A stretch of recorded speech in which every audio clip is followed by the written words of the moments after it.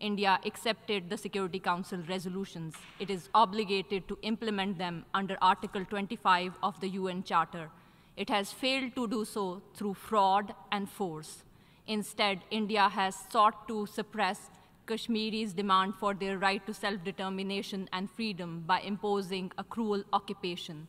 Since 1989, over 100,000 Kashmiris have been martyred. On 5 August 2019, India gave up all pretense and announced annexation of Jammu and Kashmir. It enlarged its occupation army to 9 lakh, imposed a complete lockdown, turning the beautiful valley of Kashmir into the largest open-air prison in the world. The entire Kashmiri population is the victim of India's brutal tactics. Innocent Kashmiris are killed routinely in fake encounters and cordon and search operation. Collective punishments are imposed with the destruction of entire villages and neighborhoods. The entire Kashmiri political leadership remains incarcerated 15,000 Kashmiri boys have been abducted, many disappeared and tortured. An information blackout has been imposed by closing media houses and charging independent journalists with terrorism. Indeed, a classic colonial settler project is underway. And yet, the oppressed Kashmiris have not capitulated they have not given up their demand for freedom from Indian occupation. At all political celebrations, they fly flag of Pakistan, not India. They cheer the Pakistani cricket team and they shout Pakistan Zindabad, long live Pakistan. India may forcibly occupy the land of Kashmir, but it has lost its people forever. The second lie is to describe the Kashmiri freedom struggle as terrorism. This is a familiar colonial ploy. Under international law, Kashmiri's resistance to foreign occupation is just and legal. It is India's occupation that is illegal. It is India which must be held accountable for its war crimes and human rights violation in the occupied territory. The two reports of the UN High Commissioner for Human Rights documented these crimes and violations. Over a dozen special rapporteurs of the Human Rights Councils have called for the investigation of human rights violation in Jammu and Kashmir. India has consistently denied them access to the occupied territory. The third Indian lie is to portray itself as a victim of terrorism. On the contrary, India is a serial sponsor of terrorism. It has perpetrated terrorism against each one of its immediate neighbors.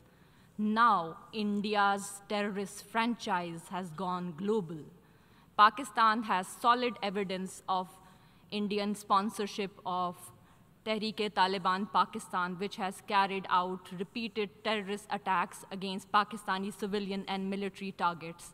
The BLA, Baloch insurgent, is also financed and operated by India. The captured Indian spy and naval commander Kulbhushan Jadhav has fully enumerated India's terrorist activities in his confession. India must be held accountable for its terrorist activities. Mr. President, if a government is capable of brutally persecuting its own people, one can imagine what it is capable of doing to the people of other nations. The BJP RSS government, which has ruled India since 2014, is guilty of imposing a reign of terror not only against the people of Jammu and Kashmir, but also against its own 200 million Muslims, 2 million Christians, and millions of Dalits and other low-caste Hindus. India's crimes are well documented.